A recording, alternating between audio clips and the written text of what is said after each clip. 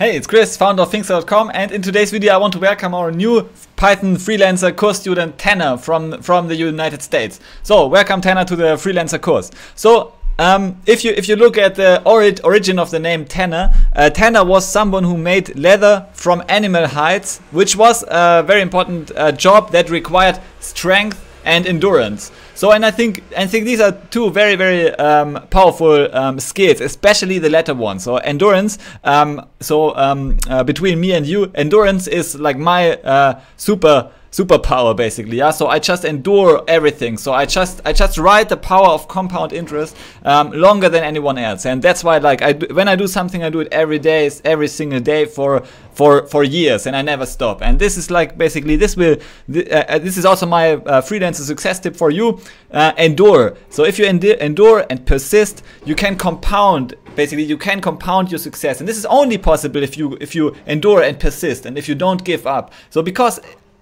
no matter what you are doing, whether you create a freelancing business or any other business or any other thing, whether you save money for retirement or anything, so you can only be successful, you can only ride the powerful um, um, curve of compounding interest if you endure, if you persist. So at if at any point, so these on the x-axis we see say the number of days uh, to 350, 400 days, and on the y-axis we see like the compounding um, growth of something. It could be anything, could be like your income or your wealth or so. And um, you can see that it increases exponentially, but as in any um, as in any curve of compounding interest, the main effects happen later. So because it's an exponential curve, so so of course the, like the last few um, exponential improvements of your output on the y-axis will happen in the later part of the of the, of the curve. So you need to persist in order to reach uh, go there in, in, in order to get there. So even if initially it seems like there's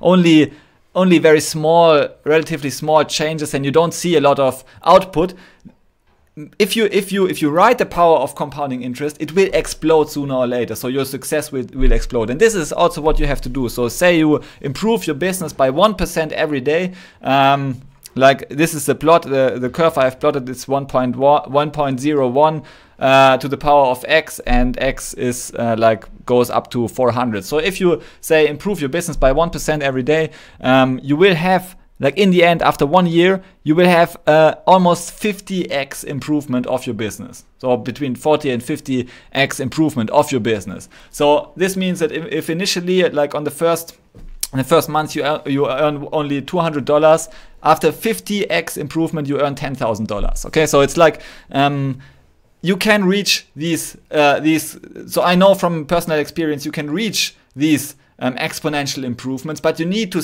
to remain on the curve long enough. If at any point you decide, no, okay, I quit here, or I quit here, or I quit here, you actually don't write the compounding interest uh, where it where it becomes really powerful at the end. Okay.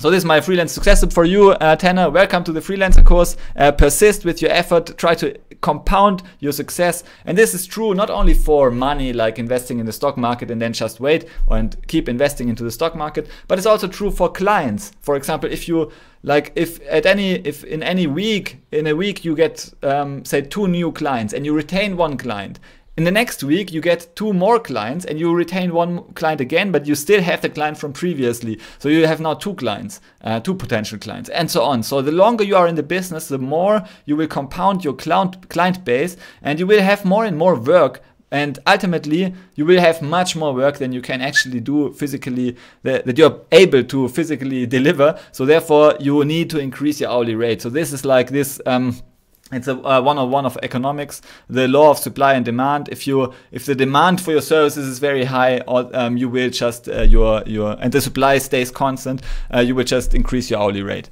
Um, and uh, but it's it's also true for for money as i said for business for clients but it's also true for knowledge. If you if you if you stay in a job for for many months basically your knowledge will compound. And you will see that some some gigs that take you say 10 hours to complete will only take you one hour to complete after a few months. And, and then a few months later, it will take you only say 20 minutes to complete this task. And I have seen these, these type of improvements, these 10x, 20x, 30x improvements in time to complete a certain task in so many instances I cannot even start to describe them. It's like in blogging, in writing, in editing, in um, in in coding, small scripts. I mean, for me, it it it, it uh, so it's I can I can code very small scripts that solve a, certain problem very very quickly. And I know initially I struggled with writing those scripts, and it took me a long time on uh, searching on Google and so on to actually finish these uh, these uh, gigs. But I mean, over over over time, your your um, the time it takes to finish small gigs will just decrease exponentially with your experience. So so in all these areas you have a compounding um, compounding um, compounding curve. And of course it will flatten out at one point but it usually flattens out at a very high level. So yeah, just just try to compound everything and endure and persist and yeah um, try to honor your name Tanner and I think this is a good freelance success tip. Okay thanks for joining the course and see you in the course. Bye